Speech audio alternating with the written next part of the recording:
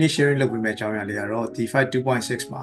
ဘယ်လို new features တွေပါလဲဆိုတာကို sharing လုပ်ပေးသွားမှာဖြစ်ပါတယ်။ DeFi ကို update လုပ်ပေးသွားပြီဆိုရင်ဒီ update ဆိုတဲ့အထဲမှာဒီ2.6ရဲ့ new features တွေကိုတွေ့ရမယ်ပေါ့နော်။အဲ့တော့အရင်ဆုံးကတော့ AI atmosphere match ဆိုတဲ့ဟာအဲ့တော့သူ့ရဲ့အခြေခံသဘောတရားကတော့ကို reference ချထားတဲ့ပုံတစ်ပုံမှာရှိတဲ့ဒီ lighting တွေ environment တွေနောက်ပြီးတော့ effects တွေပေါ့နော်။ကိုယ့်ရဲ့ 3D scene တွေကို AI နည်းပညာကိုသုံးပြီးတော့ generate လုပ်ပြီးတော့ migrate လုပ်လိုက်တာเนาะဒီ effect တွေဆိုတော့ဒါလေးကိုကျွန်တော်တို့စမ်းကြည့်ကြမယ်အဲ့တော့အရင်ဆုံးကဒီ icon လေးကိုနှိပ်ပြီးတော့ဒီကို reference page နဲ့ဓာတ်ပုံတစ်ပုံသွားပြီးတော့အရင် upload လုပ်လိုက်ပါเนาะဆိုတော့ဒီပုံလေးပဲဆိုပါလို့မိုးရွာနေပုံပေါ့နော်အဲ့အဲ့ဒီမှာ current view ကိုကျွန်တော်တို့ snap ဖမ်းလိုက်တယ် ပြီးသွားရင်တော့ step generate generating ပေါ့နော်သူ့ကို generate လုပ်ခိုင်းပြီးတဲ့အခါမှာကျွန်တော်တို့ဒီမှာ apply လုပ်လိုက်တာ ਨੇ ဒီခုနက reference ပေးထားတဲ့ပုံမှာပါတဲ့ atmosphere တွေ effect တွေပေါ့နော်ကိုသူကဒီ D5 ပုံတွေကို migrate လုပ်လိုက်ဒီ style တစ်ခုလုံးပေါ့နော်အဲ့တော့ဒီလိုမျိုးရနော်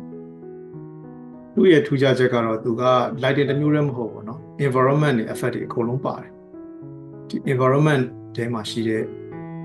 ဒီမှာ fog တို့ဒါကိုလည်း on ထားတယ်နောက်ပြီး setting တွေသူချိန်ထားတယ်ပြီးသွားရင်ဒီမှာ wind on ထားတယ်နောက်ပြီးတော့ရင် precipitation ပေါ့နော်ဒီမှာဆိုရင်တော့ဒါမိုးရွာနေလို့သူယူဆပြီးတော့ rain setting on ပေးထားတယ်ပေါ့နော်တော့ဒါတွေအားလုံးကဒါ AI နဲ့ generate လုပ်ထားတာ AI နည်းပညာကိုသုံးပြီးတော့သူ generate ပြန်လုပ်ပေးထားတာပေါ့ဆိုတော့တော်တော်ကြီးကိုအလုပ်လုပ်ရတာတက်တာတယ် နောက်တစ်ခုကဒီ effect ထဲမှာလည်းသူဒီမှာ color correction တွေပေါ့နော် color correction တွေခုနကကိုပေးထားတဲ့ဒီကို reference လုပ်ထားတဲ့ဓာတ်ပုံမှာပါတဲ့နီးစပ်အောင်သူချိန်ပေးထားတယ်ဆိုတော့ဒါကလည်းတော်တော်ကြီးကိုထောက်ကိုပြုတယ်ပေါ့နော်ဒီအဲ့တော့နောက်ထပ်တစ်ပုံကျွန်တော်တို့ဆန်းလုပ်ကြည့်အောင်ဆိုတော့ဒီမှာဆိုရင်ကျွန်တော်တို့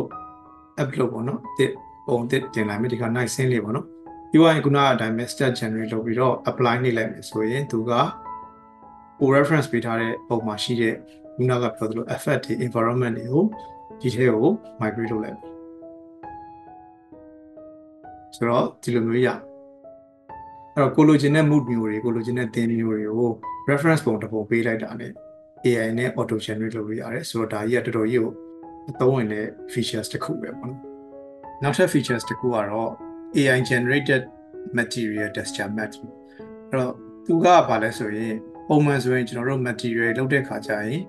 ဒီ reflection map တို့ diffuse map တို့ normal map တို့ဆိုတော့ map တွေအများကြီး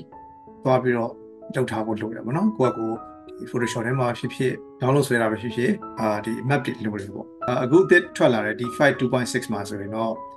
အာကျွန်တော်တို့ diffuse map တခုပဲ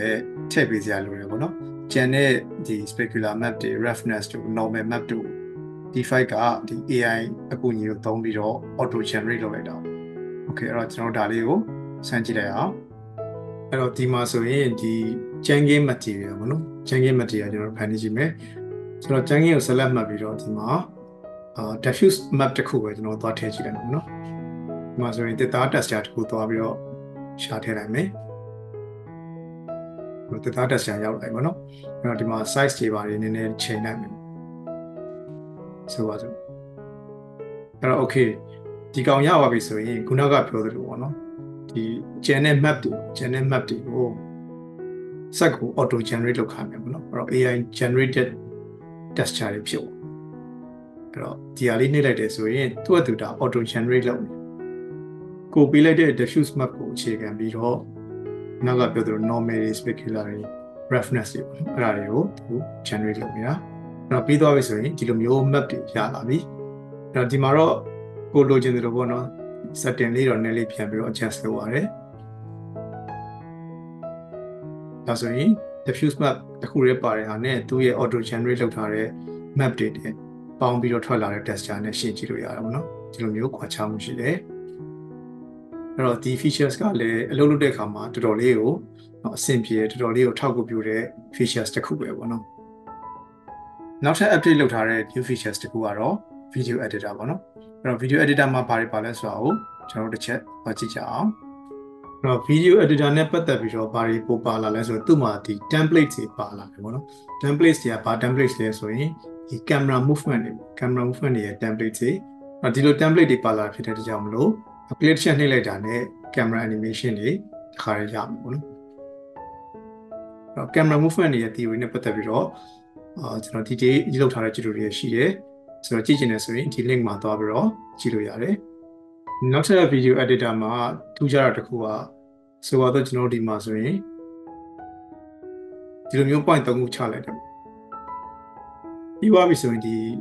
edit ပတ်ထဲဝင်လိုက်ပြီးတော့ဒီ camera ရဲ့ movement ကိုကျွန်တော်တို့က detail ပြန်ပြီးတော့ချိန်လို့ရတယ်ဒီလမ်းကြောင်းအောင်သုံးပြီးတော့ဗောနော်ဥပမာဆိုတော့ဒီ point ကိုရေးပြီးတော့နော်နေရာပြောင်းမဲ့ camera ရဲ့ position ကိုပြောင်းလိုက်လို့ရတယ်ပြီးွားရင်ဒီမှာသူ့ရဲ့ control point တွေပါတယ်ဗောနော်အဲ့တော့အဲ့ control point ကိုဆက်လက်မှတ်ပြီးတော့ဒီ curve ကိုကျွန်တော်တို့ adjust လုပ်လို့ရတယ်အဲ့တော့ပို့ပြီးတော့ detail ပေါ့နော်ဒီ camera ဘယ်လိုရွှေ့ခြင်းလဲဆိုရဲ detail ကဒီမှာလုံးဝ control လုပ်လို့ကောင်းသွားပြီအဲ့တော့ဒီချက်ကလည်းတော်တော်ကြီးကိုအသုံးဝင်တဲ့အချက်တစ်ချက်ဖြစ်တယ်ပေါ့နော်နောက်တစ်ခုကတော့ multimedia material transparency ပေါ့အဲ့တော့ အရင်တော့ကတော့ကျွန်တော်တို့ video material သုံးနေတာမှာသူက transparency လုပ်လို့ရအောင် function လေးထပ်ထည့်ပေးလိုက်တယ်ဆိုတော့ဘာထူးခြားလဲဆိုတာကိုကျွန်တော်တို့စမ်းကြည့်အောင်အဲ့တော့ဒီ features ကိုသုံးမယ်ဆိုရင်တော့ material တွေကနေ multimedia တွေသွားတယ်ပြီးတော့တော့ကို upload လုပ်ချင်တဲ့ video တစ်ခုတင်လိုက်ရပြီအဲ့ဒီမှာတော့ထုံးစံတိုင်းပဲ video ရဲ့ဒီ light intensity ကို adjust လုပ်လို့ရတယ်အဲ့တော့သူ့မှာ true ကြကြပါလာတာကဒီ transparency ဆိုတဲ့ဟာပေါ့နော်အဲ့တော့ transparency ကို on ပြီးတော့ဒီအောက်မှာ သူ့ရဲ့ transparency တန်ဖိုးလေးကိုကစားလိုက်တယ်ဆိုရင်ဒီကောင်ကသူက transparent ဖြစ်ပြီးတော့နောက်က background ဖောက်ပြီးတော့မြင်နေရတာပေါ့နော်အဲ့တော့ transparency မှာတော့သူက type နှစ်မျိုးရှိတယ်တစ်ခုကတော့ global နဲ့ luma ဆိုပြီးတော့နော်အဲ့တော့ global mat ကကြတော့သူကဒီ video တစ်ခုလုံးရဲ့ overall opacity ကို short လိုက်ပြီးတော့ဒီ luma luma mat ကကြတော့ဗာလဲဆိုရင်သူကတုံးရင်းနေဟာတွေပေါ့နော်များသောအားဖြင့်အနက်ရောင်ရှိတဲ့နေရာတွေရဲ့ opacity ကိုအဓိက short ပြတာပေါ့နော်အဲ့တော့ ဒီမှာဆိုရင်တော့ဒီ luma mat ကတော့ပို့ပြီးတော့ကြည့်ရတာအဆင်ပြေတယ် global mat ထက်စားပေါ့နော်အဲ့တော့ဒီ features ပါလာတဲ့ကြောင့်လို့ကျွန်တော်တို့ဒီ transparent LED တွေအဲနောက်ပြီးတော့ transparent TV လို့ဟာမျိုးတွေပေါ့နော်ဒီမှာသုံးလို့ရတယ် projector နဲ့တော့မတူ projector ကတော့ငကိုတွေက new feature စမသက်သက်တစ်ခုပါပြီးသားဆိုတော့ effect ချင်းကကွာတယ်နောက်ထပ်စိတ်ဝင်စားဖို့ကောင်းတာတစ်ခုကတော့ဒီ 3D mask နဲ့ D5 နဲ့အာဒီ live synchronize ဖြစ်အောင် ချိတ်ပြီးတော့เนาะဒီ live ပေါ့เนาะအလုပ်လုပ်လို့ရအောင်ချိတ်ထားတဲ့ function လေးပေါ့ဒါကတော့တော့ဆို beta version အနေနဲ့ပဲရှိသေးတယ်ဒါမဲ့လည်းတော်တော်သုံးရအဆင်ပြေတယ်ပေါ့နော် 3D Max user တွေအတွက်ဆိုတော့အသေးစိတ်ကိုကျွန်တော်တို့သွားပြီးတော့လေ့လာကြည့်အောင်အဲ့တော့ 3D Max နဲ့ live synchronize လုပ်ချင်တယ်ဆိုရင်တော့အရင်ဆုံး D5 website ကိုသွားပြီးတော့ဒီမှာ 3D Max live synchronize ဆိုတဲ့ဟာပေါ့နော်ဒီ plugin ကို down ပြီးတော့သုံးမှရမယ်အခုလောလောဆယ် beta version တော့ပေးထားတယ်ပေါ့နော် အဲ့တော့ download လုပ်ပြီးတော့ install လုပ်ပြီး install လုပ်ပြီးပြီဆိုရင်ကျွန်တော်တို့ 3D Max နဲ့သုံးလို့ရပြီဒီ cloud လေးပေါ့နော်ဒီ cloud လေး on ထားရဆိုရင်ဒီမှာ 3D Max နဲ့ D5 နဲ့ချိန်သွားပြီးတော့ဒီမှာ 3D Max ကနေ update လုပ်သမျှနော် 3D Max ကနေဆွဲသမျှကဟိုဘက်မှာ live ပေါ်နေအာဘာကွာခြားသွားလဲဆိုရင်ကျွန်တော်တို့ object တွေရွှေ့တာတို့နော်ပြီးသွားရင် object အသစ်တွေထည့်တဲ့ဟာမျိုးတွေပေါ့နော်အဲ့ဒါဆိုရင်အရင်တော့ update လုပ်ပြီးတော့မှဟိုဘက်ထဲကိုရောက်သွားတယ်ပေါ့နော်ဒီ synchronize features ပါလာတဲ့ကြောင့်မလို့ခုနက update သွားလုပ်ရတဲ့ဟာကလုပ်စရာမလိုတော့ဘူးနော် manual လိုက်ပြီး update လုပ်စရာမလိုတော့ဘူးเนาะတခါတည်းဒီမှာ update ပေါ်တယ်ဆိုတော့ဒီကောင်ကလည်းတော်တော်ကြီးကိုအဆင်ပြေတယ်အာလုပ်လို့တဲ့အခါမှာ step တစ်ခုရောက်သွားတာနော်ဒီမှာဆိုရင်ဒီမှာ model တစ်ခုဆွဲရဆိုရင်ဒီဘက်မှာအကုန်လုံး live ပေါ်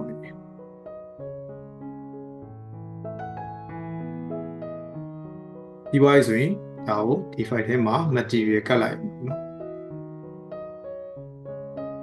ဆိုတော့တော်တော်ကြီးကိုလုပ်လို့ရတာအဆင်ပြေတယ်ဆိုတော့ဒီ features လေးကလည်းတော်တော်ကြီးအသုံးဝင်တယ်ပေါ့နော်အာနောက်တစ်ခုကကျတော့ခုနကလိုဒီ object တွေမဟုတ်ဘူး camera animation မှာ 3D Max ကလောက်ထားတဲ့ camera animation ကိုပါ D5 ထဲကိုပို့လို့ရတယ်ဥပမာဆိုတော့ဒီမှာကျွန်တော်တို့ 3D Max မှာ camera animation လုပ်လိုက်မယ်ဒီမှာ rotation နဲ့နည်းပေးလိုက်တယ်ပေါ့နော် rotation နဲ့ပေးပြီးတော့မှ ဒီကောင်ကို camera အရှိနေနေလေးတိုးလိုက်မယ်ဆိုပါစို့ဒီလို animation လေး 3D Max ထဲမှာလုပ်လိုက်မယ်ဒီ animation ကို export လုပ်ချင်တယ်ဆိုရင် 3D Max ချင်းမှာ camera ကို select မှတ်တယ်ပြီးွားရင်ဒီ cloud လေးပေါ့နော်ဒီ cloud ဒီ camera လမ်းကြောင်းပို့တဲ့ cloud လေးကိုနှိပ်လိုက်တယ်ဆိုရင်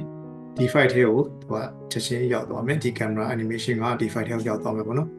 အဲ့တော့ပြီးတော့ကျွန်တော်တို့ဒီ video editor လေးဝင်တဲ့အခါကျရင် ဒီ animation လေးရောက်နေတာကိုတွေ့ရလိမ့်မယ်အဲ့တော့ကိုကဒီ file ထဲမှာဒီ camera ကန်ရတာခက်ခဲရှိတယ်ဆိုရင် 3D Max ထဲမှာ camera animation လုပ်လာလို့ရတယ်အဲ့တော့ဒီကောင်လေးကလည်း animation လုပ်တဲ့လူတွေအတွက်ဆိုရင်တော်တော်ကြီးအသုံးဝင်တဲ့ features တစ်ခုပဲအဲ့တော့နောက်ဆုံး update ကတော့ဒီ new access တွေပေါ့နော်အဲ့တော့ထုံးစံတိုင်းပဲသူက version တစ်ခုထွက်လာတယ်သူ့မှာဒီ access တွေသူထပ်ပြီးတော့တိုးပေးထားတယ်ဒီမှာတော့အာဒီမှာပြထားတဲ့အတိုင်းပဲပေါ့နော်တော်တော်များများတိုးပေးထားတယ်အဲ့ဒီကမှ အာစိတ်ဝင်စားဖို့ကောင်းတဲ့ဟာလေးတွေကိုကျွန်တော်တို့သွားပြီးတော့လေ့လာကြည့်ရအောင်အဲ့တော့ access တွေမှာစိတ်ဝင်စားဖို့ကောင်းတဲ့ဟာပထမဆုံးတစ်ခုပေါ့နော်အဲ့ဒါကဘာလဲဆိုရင်ဒီဒီ procedurally generate လုပ်လို့ရတဲ့ဒီပင်တွေပေါ့နော်အဲဒီလိုဟာမျိုးတွေပေါ့အဲ့တော့ဒီမှာ model ထဲမှာသွားပြီးတော့ရှာလို့ရတယ်ဆိုတော့သူအားလုံးပေါင်း6မျိုးရှိတယ်အဲ့တော့ဆိုတော့အဲ့ဒါကိုဒီကိုကြိုက်တဲ့နေရာတစ်ခုခုမှာ နေရာချလိုက်တယ်ချပြီးတော့ generate လုပ်လိုက်ပြီဆိုတော့ねသူကဒီလိုမျိုးအပင်တွေထွက်လာတယ်အဲ့မှာ random ခလုတ်ကိုနှိပ်ပြီးတော့ဒီအပင်တွေရဲ့ပုံစံကိုကျွန်တော်တို့ကပြောင်းလို့ရတယ်ပုံစံမျိုးမျိုးပြောင်းလို့ရတယ်အဲ့ဒါပြီးတော့ဒီဒီအောက်မှာသူ့ရဲ့ parameter တွေပြင်လို့ရတယ်မ scale တို့ပြီးသွားရင်အရွက်ရဲ့ density တို့ပြီးသွားအရွက်တွေရဲ့ angle ပေါ့နော် ပြီးသွားရင်ဒီ length တို့ width တို့ဒီမှာအကုန်လုံး adjust လာပြီးတော့လုပ်လို့ရတယ်ပြီးသွားရင်ကိုကအရွက်ရဲ့အရာပြင်နေတယ်ဆိုလည်းဒီအောက်မှာ color temperature change ပြီးတော့ပြင်လို့ရတယ်အဲဒီဟာကတော့အသစ်ထည့်ထားတဲ့ access တွေကမှာသဘောကျစရာကောင်းတဲ့တစ်ခုပေါ့နော်အဲ့တော့နောက်တစ်ခုကတော့ဒီ access တွေက particles ထဲမှာ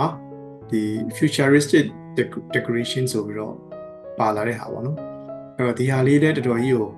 အာစိတ်ဝင်စားဖို့ကောင်းတယ်ဥပမာဆိုရင်ဒီလိုဟာမျိုးတွေပေါ့နော်ဒီမှာဆိုရင်က setting တွေချိန်လို့ရတယ်အရောင်တွေပါတယ်အကုန်လုံးချိန်လို့ရတယ်နောက်ထပ်တစ်ခုကကြတော့ဒီ fog plane ပေါ့နော်အဲ့တော့ Muri ကိုသူက plane ပြားမှာပေါ့ texture ကတ်ပေးထားတာဒါပေမဲ့တစ်ခုထူးကြတာဒီ Muri animated ဖြစ်နေရွေ့နေဆိုတော့ဒီမှာဆိုရင်ဒီလိုမျိုးနေရာချလိုက်လို့ရတယ်နေရာချပြီးတော့ကင်မရာ အနေထားကိုပြောင်းလိုက်တယ်ဆိုရင်ဒီကောင်ကကြည့်ရတာရမ်းအဆင်ပြေပါဘောနော်အဲ့တော့ထုံးစံတိုင်းပဲဒီကောင်တွေကိုလည်းကျွန်တော်တို့က setting တွေ parameter တွေပြင်လို့ရတယ်ဥပမာဆိုတော့ဒီမှာဆိုရင်ဒီအကြောင်းရင်းလိုက်ကြီးဖြစ်ပြီးတော့အသက်မရဖြစ်နေတာမျိုးပေါ့နော်ဒါကိုကျွန်တော်တို့ဒီမှာဒီ blending degree ကိုပြောင်းပြီးတော့ဒီ environment နဲ့ match ဖြစ်သွားအောင် adjust လုပ်လို့ရတယ်ဒီ plane များထည့်ထားလို့မထင်ရဘူးเนาะတကယ်မျိုးကြီးရှိနေတယ်လို့မျိုး feeling မျိုးဖြစ်စေတယ်ဆိုတော့ဒီကောင်ကလည်းပို့ပပနဲ့ ဒီ new ရဲ့ effect ကိုသုံးလို့ရမယ် features တခုပေါ့နော်အဲ့တော့ access ထဲမှာနောက်ထပ်တစ်ခုပါတဲ့ဟာကတော့ဒီ HCRI library ဆိုပြီးတော့တစ်ခုပါလာတယ်ပေါ့ဒီမှာတော့သုံးလို့ကောင်းတဲ့ HCRI တွေကိုသူ library စောက်ပေးထားတာအဲ့တော့ဒါကလည်းသုံးဝင်တဲ့ features ထဲမှာပါတယ်ကျွန်တော်တို့တောင်းတောင်းသွားပြီးတော့လိုက်ရှာစရာမလိုတော့ဘူးเนาะနောက်တစ်ခုတော့ခုနကပြောသလိုပဲသူ့ရဲ့ access ထဲမှာဒီ model တွေမှာပေါ့နော် model အသစ်တွေသူထည့်ပေးထားတယ်အဲ့တော့ low poly trees တွေနောက်ပြီးတော့ animated characters တွေပေါ့နော်ဒါတွေသူ update လုပ်ပေးထားတယ်အဲ့တော့ update လုပ်ပေးထားတဲ့အချိန်မှာနောက်ထပ်ဘောကြစရာကောင်းတာက UV randomizer ပေါ့အဲ့တော့သူကဘာလုပ်တာလဲဆိုရင်ပုံမှန်ဆိုရင်ကျွန်တော် UV scale ကို adjust လုပ်တဲ့အခါကျရင်တစ်ခါကျရင် sim line တွေပေါ်လာတယ်ဒီလိုမျိုး repetition pattern တွေပေါ်လာတယ်အဲ့တော့အဲ့ဒါအောင်မှ UV randomizer ကို on လိုက်တယ်ဆိုရင်သူ့အတူပေါ့နော် UV ကိုသူ random လုပ်ပေးခြင်းအပြင်ခုနက sim line တွေဖြောက်ပေးတဲ့အခါကျရင် ဒီ texture တွေကပို့ပြီးတော့ smooth ဖြစ်သွားတယ်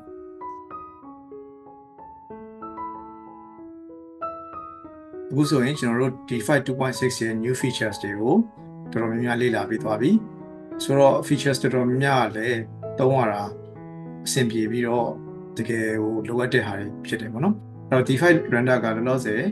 သူအသစ်ထွက်ထားတဲ့ D5 2.6ရဲ့ Pro version ကိုအဲသူ့ရဲ့ community chat ထဲမှာ free အနေနဲ့ပေါ့နော်ဒီ